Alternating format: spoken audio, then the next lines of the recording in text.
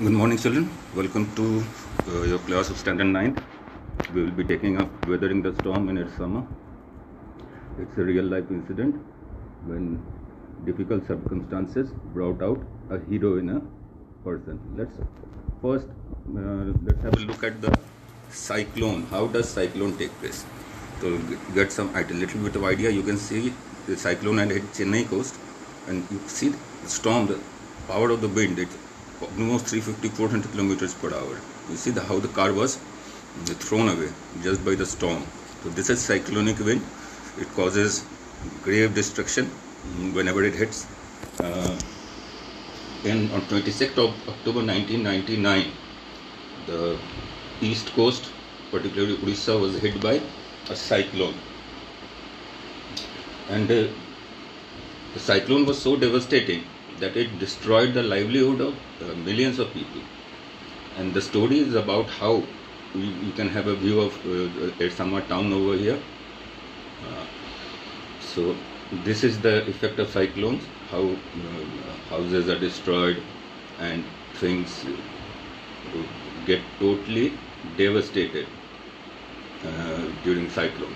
So Prashant was the name of a boy who had gone to visit his friend's family when this cyclone hit. The wind velocities were above 350 kilometers per hour and it wreaked havoc in the city. There, uh, they couldn't understand what was happening in night. The entire area was getting flooded. They went to the roof to get some shelter. So it was a heavy torrential rainfall that was taking place, and mm, trees were being uprooted. And the fury they had never uh, witnessed such a devastation ever in their life. But Prashant, being a 19 year old boy, he was a young man basically, and uh, for him it was unbearable. So, the night somehow they established, you see, the, roofs are blown away, the people are trying to uh, safeguard things. So, this is what happened. Now, one thing good that happened to Prashant was that? Mm, there was a uh, coconut tree that had fallen on the house, and with that thing, it happened so is uh, certain things that were beyond the control that happened. Uh, we had a few downloads yes so now we'll see. This is what was the devastation that took place to a high degree. And devastation was beyond stoppable. They are in the roof trying to protect themselves. The coconut tree that fell on uh, the house actually was a blessing in disguise because the, the members of the uh, friend's family and Prashant survived eating those coconuts, right? And uh, after that, Prashant had made up his mind to go uh, and uh, try to rescue. Here you see, he takes a stick and he decided to go to Ersama or to his village to find out because he was terrified, not knowing the whereabouts of his family on the way what what were the scenes? There were carcasses there were corpses they were all floating around. You carcass carcass is the dead body of an animal is called carcass while a dead body of a human being is called corpse. So he saw dead bodies of human beings animals floating in the muddy water that had mm, surged into the town. Uh, see when the area is flooded by seawater, there is no water to drink, no food to eat, and the devastation was enormous. But Prashant somehow had made up his mind that he would definitely go and search for his family members. And he did exactly that. He went there, you can see over here, he went there taking a stick. The water was after three days, I'm talking about after the cyclone was over, three days later, what the water was above waist and he took a stick to figure out the depth of the water and slowly as he gradually came close to his village he met a few of his uncle's friends So now he had company and he moved. On the way, he didn't see a single house standing. Right, so he was very well scared that um, his village too would have been badly affected.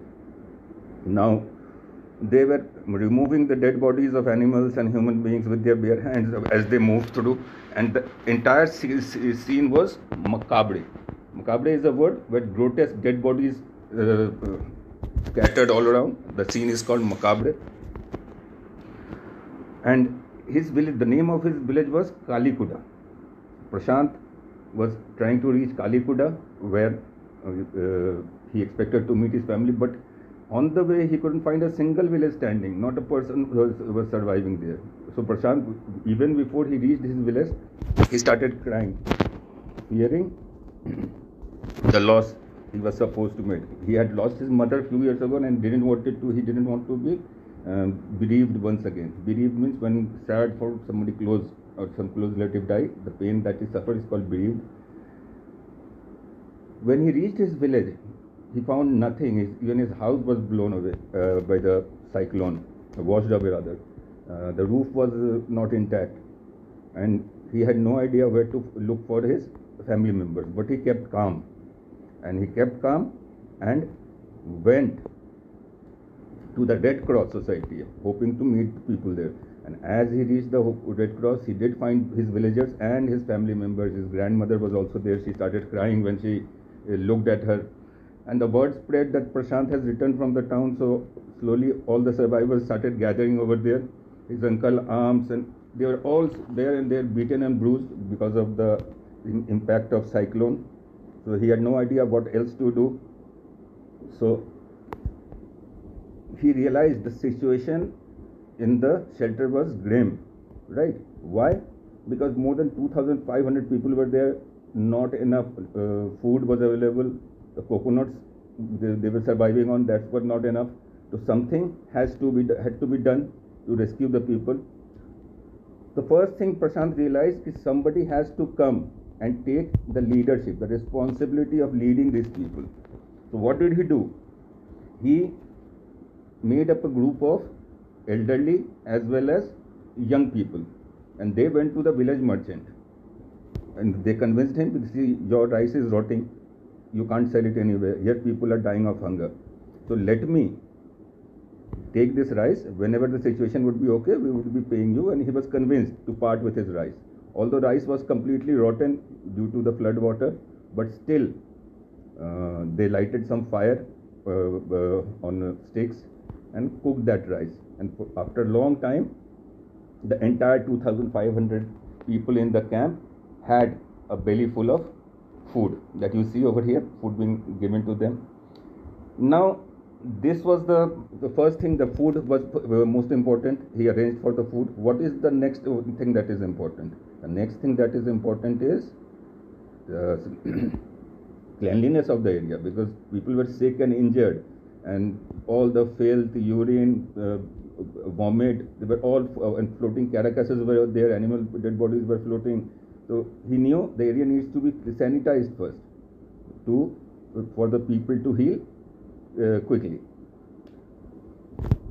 He arranged a group of young men who immediately sanitized the area and now Second thing uh, was to done was the men would it was decided that men would go out for work for food program while women will take care of the children.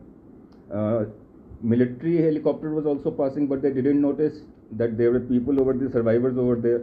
So Prashant had an idea. He made the children lie on the sand on the beaches with empty utensils on their bellies. The helicopters noticed them, and from since that day onwards, they uh, started sending the relief items, the medicines, the food, everything. They were uh, given that. Now, the other thing that was difficult was a large number of children had been orphaned. So he brought them together in a shelter and women uh, mobilized the women to look after them.